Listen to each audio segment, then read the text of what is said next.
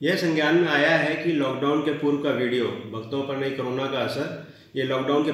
पश्चात का अथवा रामनवमी का शेयर करके भ्रामक अथवा फेक न्यूज़ फैलाई जा रही है। इस संबंध में सोशल मीडिया पर भ्रामक तथ्य फैलाने वालों के खिलाफ में दो सौ बहत्तर बटा बीस कोतवाली नगर में सुसंगत आईटी एक्ट की धाराओं में पंजीकृत किया गया है और विधिक कार्रवाई की जा रही है। ऐसी पोस्ट को रिपोर्ट भी किया जा रहा है और ब्लॉक भी किया जाता है। ऐसी भ्रामक पोस्ट को शेयर ना करें व यदि ऐसी कोई भ्रामक पोस्ट शेयर कर रहा हो तो आप अयोध्या पुलिस यूपी पुलिस या सोशल मीडिया सेल जो अयोध्या का है, उसके नंबर पर अवगत करा सकते हैं।